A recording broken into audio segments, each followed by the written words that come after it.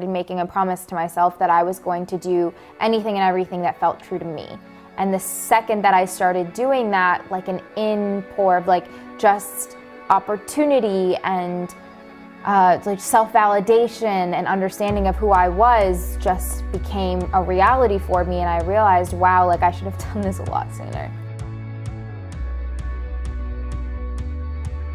Everybody else around you is just as insecure as you are, if not more. Like everybody has insecurities, everybody has self doubts. And I realized that the people that maybe were picking on me at school or seemed so confident were masking a lot of other things. If everybody else is insecure and is dealing with stuff, and I'm not talking about like everybody else just in high school, I'm talking about every mentor you have, every adult that you look up to, like everybody has something. And once you realize that, you're like, wait, if I just own up to mine and acknowledge mine and stay strong and true to myself, no one can take that away from me. And I realized, like, if I wanted to be who I wanted to be, no one except for myself could stop me. Every time somebody said no, they just weren't the right person. And most people are never thinking about you and they're not thinking about your insecurities. And once they put you down or once they bully you or once they whatever, they're moving on. You're not stuck in their mind you realize, like, wait a minute, why am I letting people's energy take up space in my brain?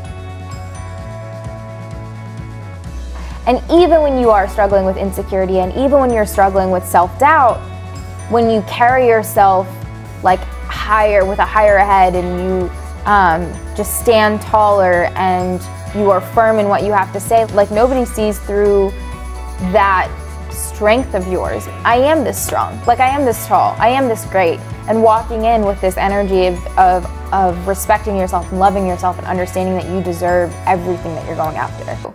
And it wasn't always so easy, but it was never impossible. I never, ever, ever thought like there's no way I could do this. You never need like great mentors or parents or friends to be the greatest off the bat but you do get to collect people along the way. I don't think that anybody can get to the, the where they want to be without community and without supporting somebody else and having other people support you. Like we as human beings like grow as a community if we want to grow the right way. Remember to listen to your gut and your intuition. That's the one thing at the end of the day parents aside, family aside, friends aside, mentors aside, my gut is the one thing that like I've been able to hold on to and it's just like, oh, you never let me down. And I always say in order to find your purpose, what I like to do is combine my skills and talents with the things that pain me. And so find causes that pain you. So the causes that pain me are violence against women, um, homelessness, the misrepresentation of communities in the media because I've seen how that directly harms me and my community. So if you're able to at least be able to recognize what it is that pains you, like really reflect on it. What are the things that really bother you? Because everybody wants to save the entire world and then when you try to get to that point, you're like, oh my God, this is so overwhelming. There's, I don't even know where to start. I'm just gonna give up right away. It is not our responsibility as a single human being to change the entire world. But what you can do is you can build. You can find the things that you want to work on and you want to contribute to, and then you can find your people. And then you can continuously build and chip away at things. But if you know that all of this is gonna go away, then why not live every single day towards a purpose, every single day towards something that makes you feel like that this world is worth living for? In the deepest, darkest moments of your life, that you're not alone. That, like, there is something greater for you out there.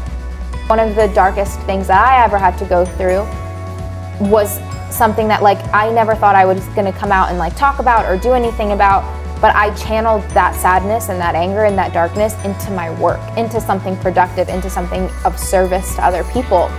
Find out what it is that you live for, what that purpose is, and, and every single day make the intention of working towards that. And don't sit and feel sorry for yourself and make yourself and put yourself down and make yourself feel bad because that is precious minutes of your day and of your life in turn that you're wasting on not being able to channel whatever it is that you're feeling into something positive and productive.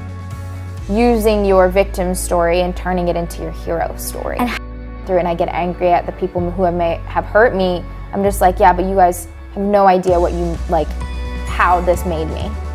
And uh, when you do that, you never give them the strength. You never give the person who hurt you the power. You take it back. And you take it back and you come back stronger. I then don't feel bad when other people try to tear me down because I'm like, whoa, whoa, whoa, whoa. You don't know me or my intentions or my purpose or what I'm doing. You don't know what happens behind closed doors. You don't know how I like what good I do. And I know I'm freaking great. So, like, I will never give that power away to anybody else. As long as you maintain that strength with yourself, like you can never give that to somebody else. Because how precious is that?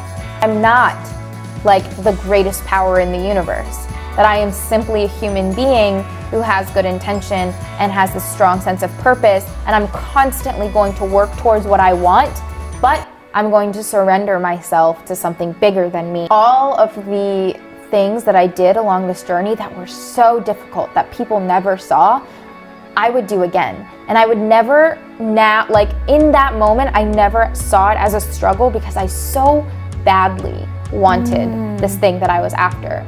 That every time I worked an overnight shift and took extra jobs and saved money and got rejected, and every single time those things happened or I got screwed over by a job or a person or whatever it was, like at the time I was like, no, keep moving, keep moving, keep moving. And I never registered what was going on because I was so badly focused on maintaining this journey and getting to somewhere with it. If you enjoy the path to there, then it ends up being worth it, even if you fail at the end. Exactly. You will never attain anything without falling continuously, and that's okay because you get stronger as you continuously go when you actually see the life that she has led, what she has personally had to go through, and then the knock on effect that she's now having on other people, it's so incredible. With affecting the, the trafficking industry really making a dent there and bringing all. So don't listen to people. Go out and be the hero of your own life because the only person that's actually going to do that is you.